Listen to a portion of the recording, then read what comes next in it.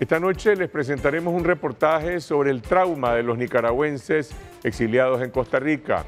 Hablaremos con la presa política excarcelada Irlanda Jerez sobre la demanda de unidad del movimiento autoconvocado. Les presentaremos un reporte especial desde Guatemala sobre las expectativas de la victoria electoral del presidente electo Alejandro Yan Matei. Entrevistaremos a Lottie Cunningham, directora del Centro de Derechos Humanos de la Costa Atlántica, sobre la violencia y el hambre que se está viviendo en las comunidades indígenas del Caribe Norte. Y al final del programa, la crítica de cine de Juan Carlos Ampié y la caricatura animada y comentada de Pedro Javier Molina.